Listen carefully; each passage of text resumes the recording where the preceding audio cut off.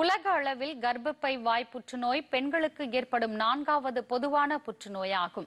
இந்த வகை புற்றுநோய் எதனால் ஏற்படுகிறது? இதற்கென தடுப்பூசி இருக்கிறதா? எப்படி தற்காத்துக் கொள்வது என்பது குறித்து இந்த செய்தி தொகுப்பில் பார்க்கலாம். உலகெங்கிலும் உள்ள பல நாடுகள் வரும் காலங்களில் கர்ப்பப்பை வாய் புற்றுநோயை தடுப்பது குறித்தான முயற்சிகளை மேற்கொண்டு வருகின்றன.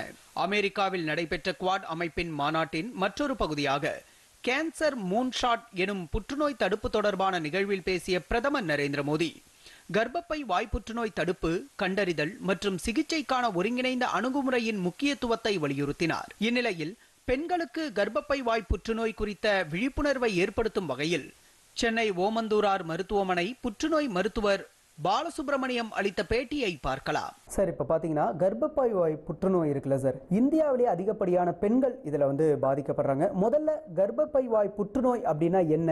எதனால் அந்த பெண்களுக்கு ஏற்படுது? அதை பற்றி சொல்லுங்கள் சார். கர்ப்பப்பை வாய் பகுதி புற்றுநோய் என்பது நம்ம டாப் டென் கேன்சரில் ரெண்டாவது இடத்துல அது இருக்குது. அதனால் நிறைய பேர் பாதிக்கப்படுறாங்க.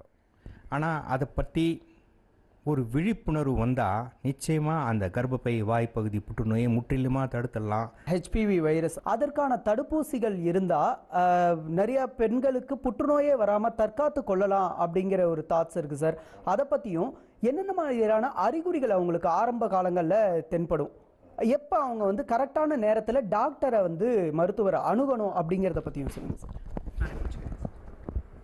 புற்றுநோய்க்கு வந்து ஆரம்ப நிலையில் வெள்ளப்படுதல் தான் ரொம்ப ஒரு காமனான சிம்டம் அப்புறம் ரத்தப்போக்கு அதுவும் ஒரு காமனான சிம்டம் அதுக்கு அடுத்தது அடி வயிற்றில் வலி ஏற்படுதல். இது எதனா இருந்ததுன்னா அவங்க உடனே அங்கே இருக்கிற ஒரு மருத்துவரை பார்த்து அவங்கள பரிசோதனை செஞ்சு கர்ப்பப்பை வாய் பகுதிய நிலைமையை பார்த்துக்கலாம்.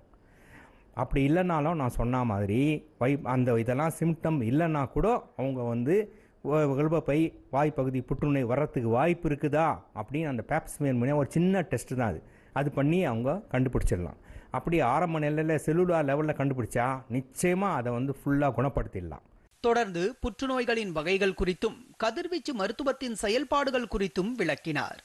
இந்த கர்ப்பப்பை வாய் பகுதி புற்றுநோய் வந்து நாலு ஸ்டேஜ் இருக்குது stage one stage two stage three stage four stage ஒன்றுன்றது ரொம்ப மைக்ராஸ்கோபிக் லெவல் ஆரம்ப கட்டம்.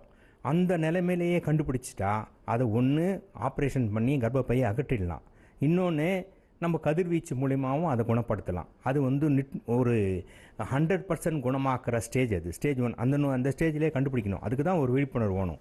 ஸ்டேஜ் டூன்றது கொஞ்சம் பக்கத்தில் பரவி இருக்கிற ஸ்டேஜ் அந்த ஸ்டேஜுக்கு வந்து அறுவை சிகிச்சை தேவைப்படாது.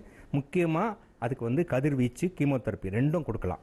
கதிர்வீச்சுன்றது இந்த லீனியர் ஆக்சிலரேட்டர்னு ஒரு அதிநவீன கருவி நமக்கில் இருக்குது அந்த கருவி மூலயமா அந்த கதிர்வீச்சை உருவாக்கி அந்த பேஷண்ட்டுக்கு எந்த பாகத்தில் புற்றுநோய் இருக்கோ அந்த பாகத்தில் துல்லியமாக அந்த கதிர்வீச்சை செலுத்தி அந்த நோயை அழிக்கலாம்.